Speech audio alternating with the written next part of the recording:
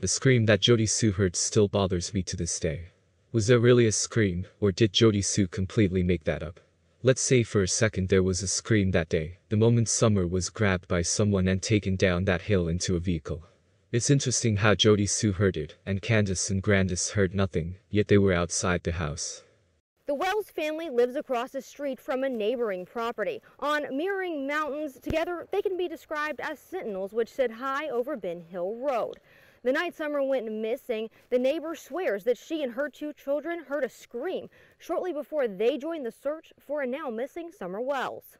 It's there, but you want to forget. On the watch and hypervigilant. And, uh, That's how Jody Sue Brown was the very day Summer Wells went missing. There was no TV, no noise at all. Jody Sue was in her cabin with her teenage kids, 19 and 14, waiting for anything. We were kind of hyper alert um, because of property things that had happened the day before.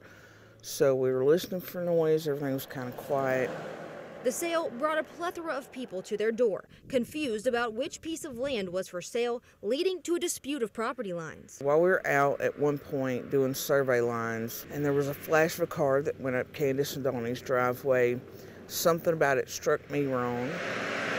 She and her family next heard a truck door slamming and dismissed it as their neighbors. The next sound was harder to justify. About an hour and a half before Summer is thought to go missing, Jody Sue, her son, and her daughter heard something far more suspicious a scream.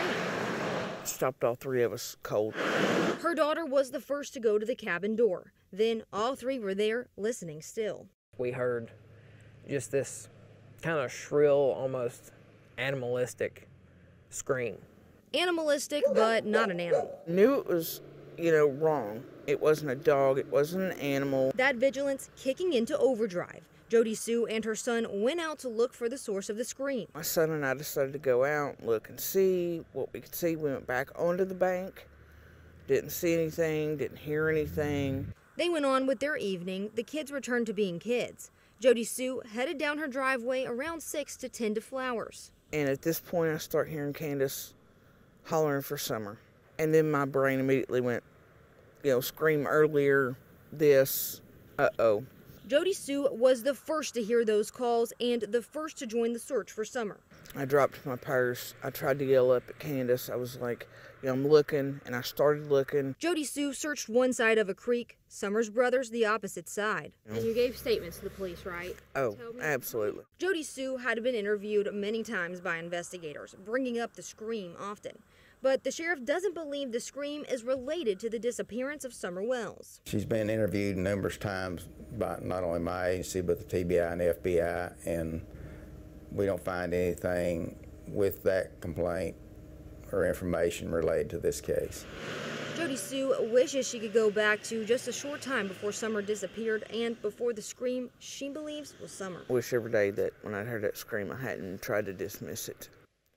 Referencing the work of the FBI, TBI, and his own deputies, Hawkins County Sheriff Ronnie Lawson reiterated in an interview the same week as Jody Sue's that investigators have found absolutely no proof that an abduction has taken place. Sheriff Ronnie Lawson says the scream was unfounded, but what made him come to that conclusion?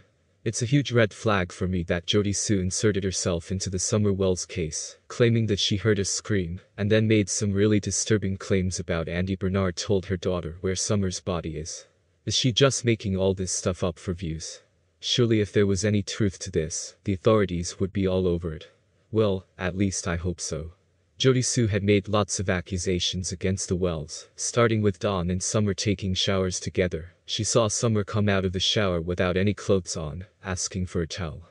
She said that Candus put alcohol in the kids' sippy cups, and the list goes on and on.